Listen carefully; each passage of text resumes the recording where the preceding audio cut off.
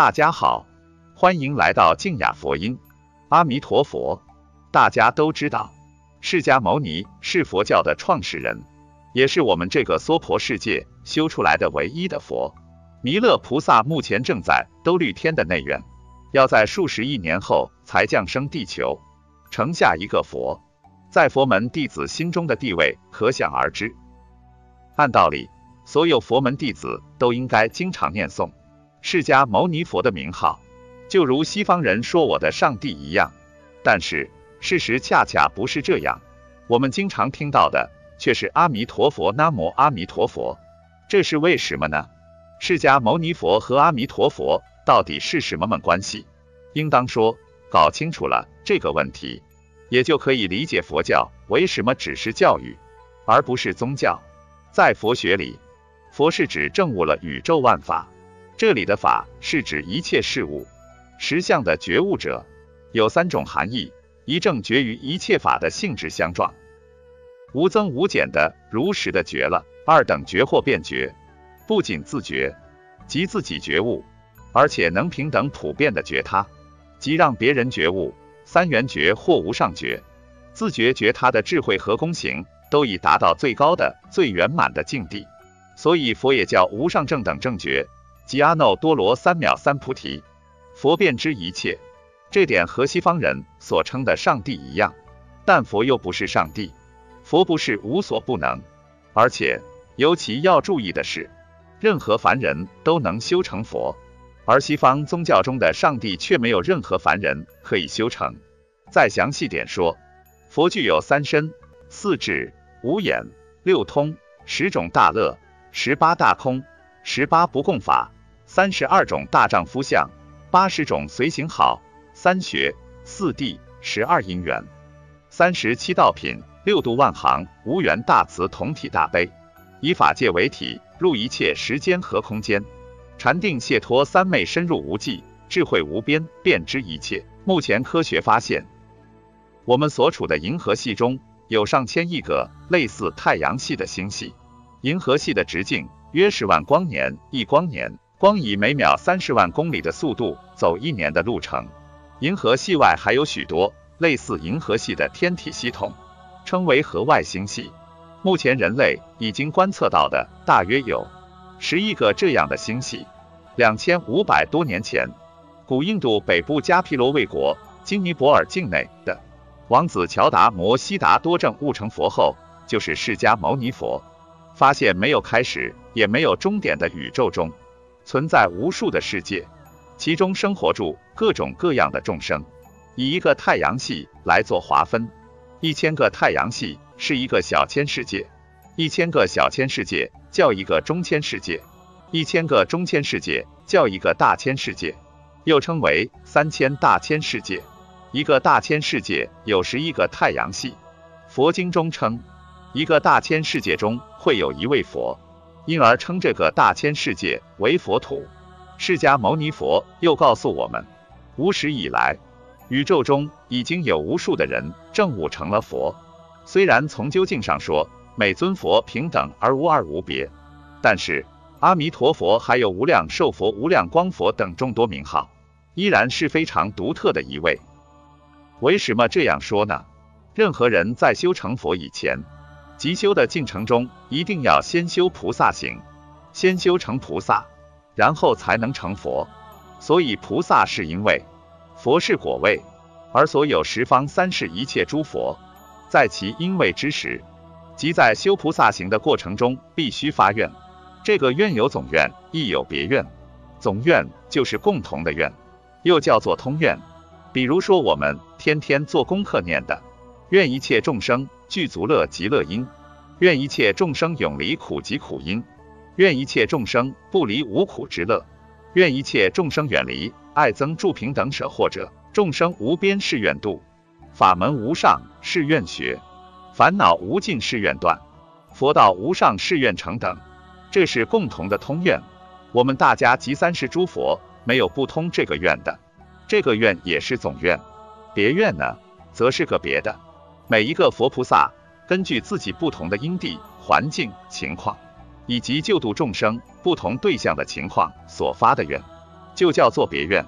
菩萨没有不发愿的，他的愿修成圆满了，那就是成佛了。比如释迦牟尼佛发的五百大愿，当时是大悲菩萨；药师佛的发的十二大愿，当时是一切众生喜见菩萨；后又是药王菩萨、普贤菩萨发的十大愿，以及地藏菩萨的地狱不空、誓不成佛等等。药师佛在因地发十二大愿，一行十二大愿，行满了，药师佛就成了。释迦牟尼佛发五百大愿，也行五百大愿。行满了，也成佛了。而阿弥陀佛在无量劫前是法藏比丘，于是自在王如来前摄取二百一十亿诸佛妙土的清净行，发四十八大愿，发的四十八愿则最为殊胜。他愿行满而成佛后，为我们凡人往菩萨及佛的果位上修行建立了一个极其完美绝妙的大场所。也就是阿弥陀佛极乐净土世界，其地方在哪里呢？从事西方，过十万亿佛土，大乘显宗和密宗都有阿弥陀佛净土法门。阿弥陀佛极乐净土世界的形成，一方面是由于阿弥陀佛的发愿力，另一方面也是阿弥陀佛不可思议的智慧幻变力所致。大家都知道，正得出的菩萨果位后。具有超越世界的力量，三清净地的菩萨，至八地至十地菩萨，大家熟悉的观世音菩萨，则比十地菩萨还高一阶，是等觉菩萨，离成佛仅一步之遥。他曾经闻千光王敬住如来说大悲咒，而直接从出地正到八地，具有无情作的力量。到了佛地的时候，具有不可思议的力量。这种不可思议的智慧力所形成的沙土，是我们凡夫人无法想象的。就像幼儿园的小孩不理解理论物理学以及其他高科技原理一样，我们凡夫人的智慧范围非常渺小，犹如针眼那么大，根本无法揣度佛陀广大无边的境界。佛说无量寿经详细记载了阿弥陀佛的四十八愿，其中之第十八愿云：设我得佛。十方众生至心信乐，欲生我国，乃至十念。若不生者，不取正觉，唯除忤逆，诽谤正法。第十九愿云：设我得佛，十方众生发菩提心，修诸功德，至心发愿，欲生我国。临寿终时，假令不与大众围绕，现其人前者，不取正觉。第二十愿云。设我得佛，十方众生闻我名号，系念我国，执众得本，至心回向，欲生我国，不果遂者，不取正觉。第三愿云：设我得佛，国中人天不惜具足真金色者，不取正觉。第十六愿云：设我得佛，国中人天乃至闻有不善名者，不取正觉。第二十一愿云。设我得佛，国中人天不惜盛满三十二大人相者，不取正觉。凡人很难在这一生中一次就修到菩萨果位，通常要先发愿往生道，最适合修行的净土去。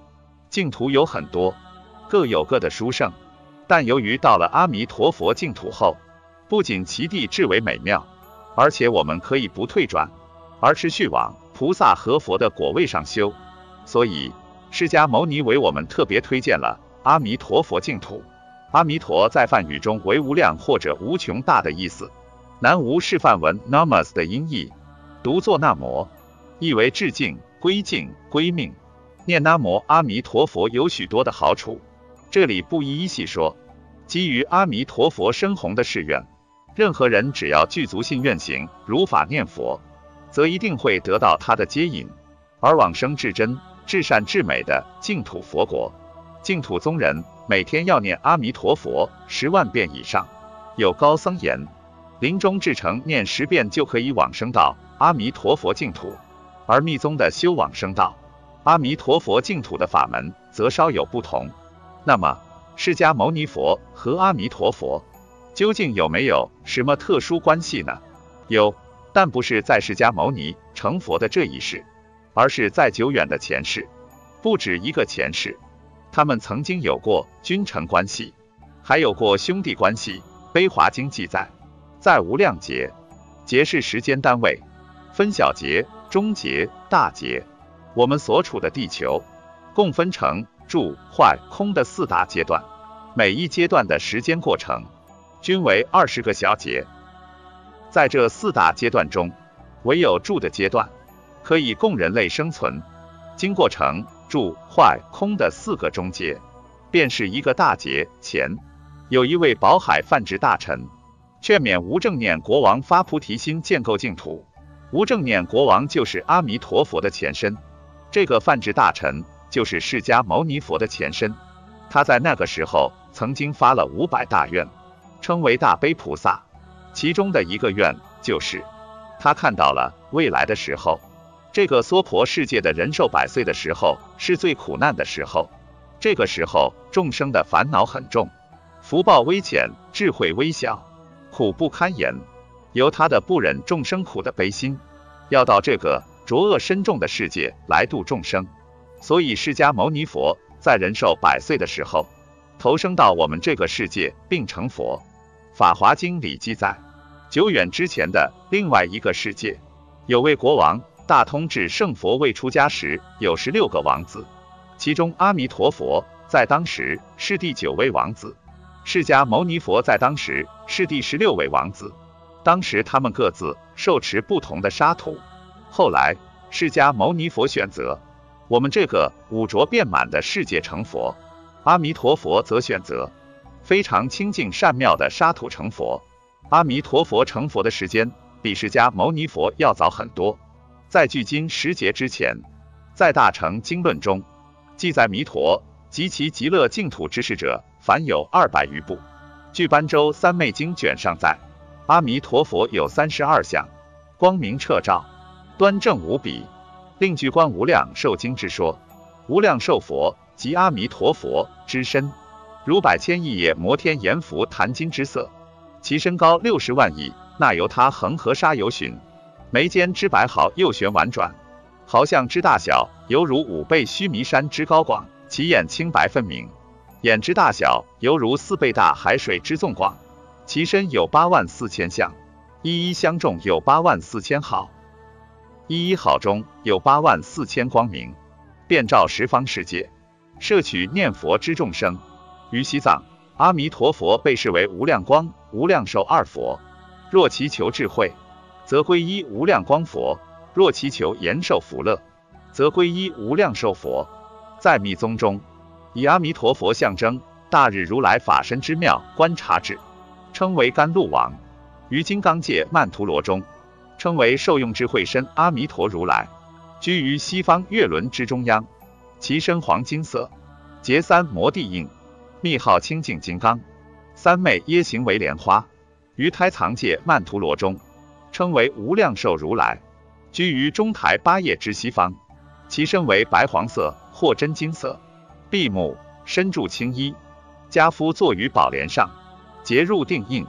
法相宗唯识论卷师说佛有自性身、受用身、变化身等三身，类似法报化三身。自性身指法身，是其他二身的根据；受用身指享受正得法性之喜的状态。此中又分佛之自身享受此法乐，称为自受用身，为菩萨说法，令他受此乐。称为他受用身，变化身即化身，是为教化菩萨与凡夫而化现的。自性身为理，身土不分，故弥陀与诸佛应无分别。受用身则分为自受用、他受用。阿弥陀佛是他受用报身，但地前菩萨及凡夫二乘所见的弥陀是变化身。